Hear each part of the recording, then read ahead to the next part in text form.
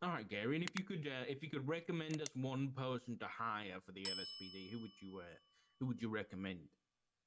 Oh, that's a good question. That's a good question. Um. Hmm. That is in UPD. Yes. Oh, that's even a harder question.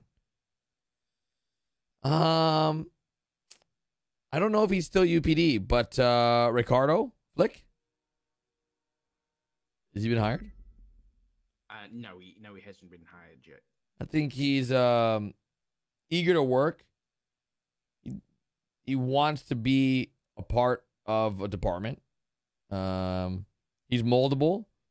He listens to command and uh, respects authority, and um, he also knows his way around the criminals and can drive really well. So, yeah, I think he'd make a good addition to LSPD.